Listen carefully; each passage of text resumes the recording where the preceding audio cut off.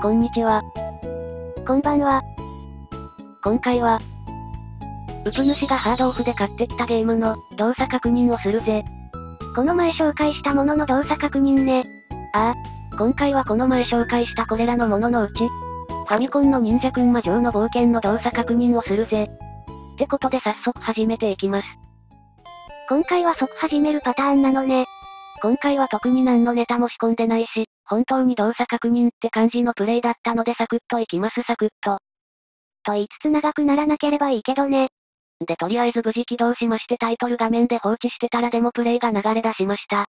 そういえばこれは縦スクロールのアクションだって言ってたっけ？ああ、ざっくり言うと上下に動いてステージ内の敵を全滅させるって感じのゲームです。ってなわけで始めていきます。なんか可愛い感じよね。ああ、自キャラも敵キャラも丸っこくて可愛いよな。動きもコミカルだしね。でざっと操作説明しますと、方向キーの左右で移動、B で手裏剣を投げる、A で下に降りる、A プラス右または左で飛び上がるって感じです。ちょっとジャンプの操作が特殊なのね。そうだな。そこはちょっと慣れが必要そうだな。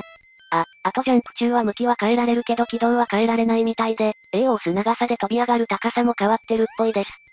でこちら一撃死の残機制で、制限時間内にステージ上の敵を全て倒せばステージクリアとなり次のステージに行けます。残機がなくなったらゲームオーバーってことね。そうだな。でここで早速一気失いました。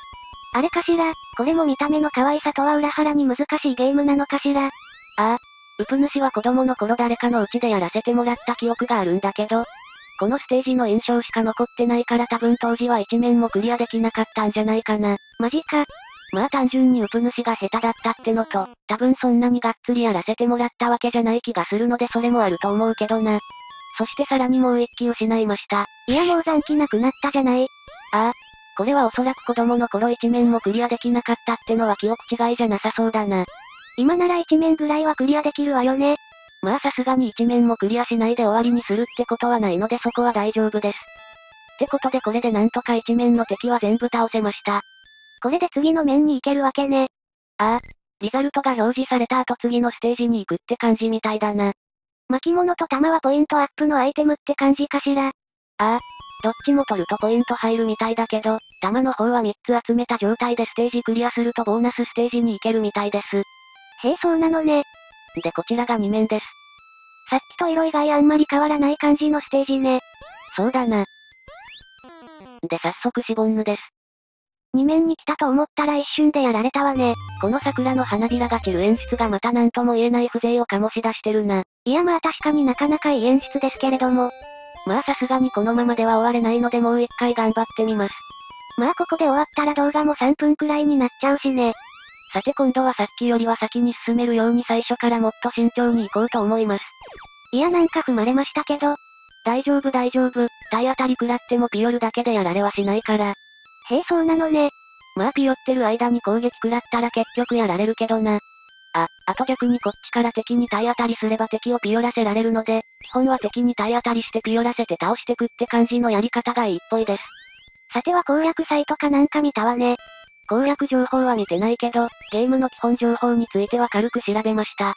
まあ説明書ないしね。まあこれはカセットの裏に軽く操作説明載ってるからなくてもプレイできるっちゃできるけどな。でそうこう言ってるうちにここで一気失いました。いや慎重に行くとか言ってたくせにまた一面でやられてるじゃない。慎重に行ってこのざまです。そうですか。まあでもこの後はとりあえずこれ以上はやられずに一面をクリアし、また二面にやってきました。まあまだ残機が残ってる分さっきよりはマシね。でこの後だいぶビビりながら戦い時間かかったのでちょっと早送りしますが。って感じでなんとかやられずに進めていき。なんかちょっと強そうなダルマが出てきました。でも一瞬で倒せたわね。ああ、反対向いててくれてよかったぜ。でこれで2面もクリアとなりました。弾をあと一つ集めてステージをクリアすればボーナスステージに行けるわけね。ああ、せめてボーナスステージくらいは拝んでおきたいな。ってことでこちらが3面です。でもで流れてたステージね。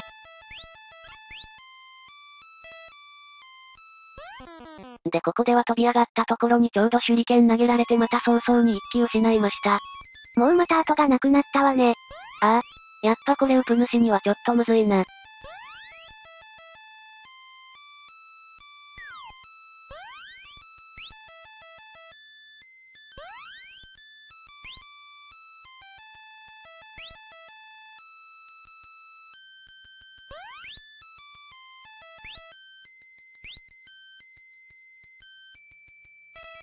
おこれで弾は3つ集まったわね。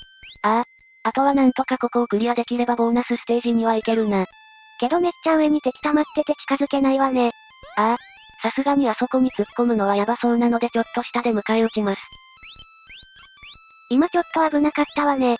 敵の手裏剣をこっちの手裏剣で相殺できるけど正面で撃ち合うのは得策じゃないっぽいな。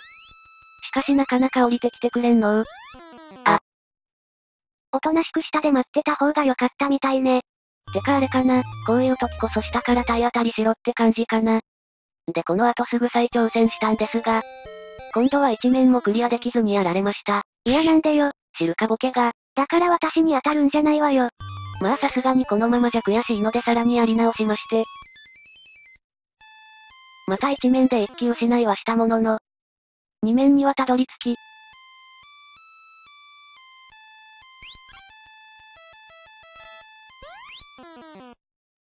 また二面に来るなり速攻で一気失い跡がなくなりましたが、なんとか三面まではやってきました。けど残機なしじゃここクリアするの厳しいんじゃない？そう思ったんですがこの通りなんとかいけました。おお、なんとか3面はクリアできたってことね。ああ、ウプ主の腕にかかればざっとこんなもんよ。いや威張るほどのことじゃないのよ。まあとにかくこれで弾を3つ集めてステージクリアできたのでようやくボーナスステージが拝めます。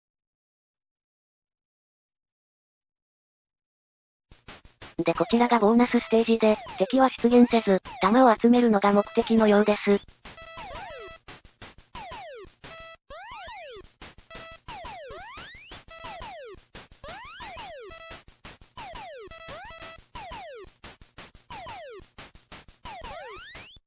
でここでタイムアップでした。時間表示なかったけど制限時間あるのね。ああ。どうやら制限時間内に全部弾を集めきるとさらに追加ボーナスが入るっぽいです。で4面に来たわけですが、ステージは1面と同じ感じですが敵がだるまだらけになってました。そしてまた速攻でやられたわね。ああ。そして悲しいかなここがウプ主の限界でした。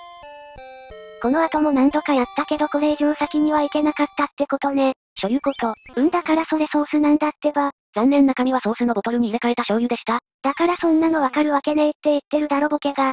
まあとにかくこの後はこんな感じでもう一度4面にたどり着けることもなく終了と相なりました。今回は本当に動作確認程度のプレイって感じだったわね。なんだかんだで小1時間くらいは頑張ってみたんだけど、ちょっと先が見えなかったので無理はしませんでした。まあでもあんまり進めはしませんでしたが、名作と言われてるだけあってよくできてて今プレイしてもなかなかに楽しかったです。見た目と違って結構シビアな感じだったけど、これはうまくできるようになったら気持ちよさそうなゲームよね。ああ、子供の頃は何も考えないでプレイしてたけど、これはどっちかっていうと練習して立ち回りを覚えて上手くなっていくって感じのゲームかな。まあもともとアーケードの作品だからそこまで子供向けに作られたわけじゃないだろうし。確かにそんな感じするわね。あ、ウプ主はアーケード版やったことないからそっちとの比較はできないし、例によってウプ主個人の勝手な感想なのでこの辺は軽く聞き流していただければと思います。ってなわけで今回はちょっと短めですがこの辺で終わっておきます。では最後までご視聴ありがとうございました。バイ。Thank you.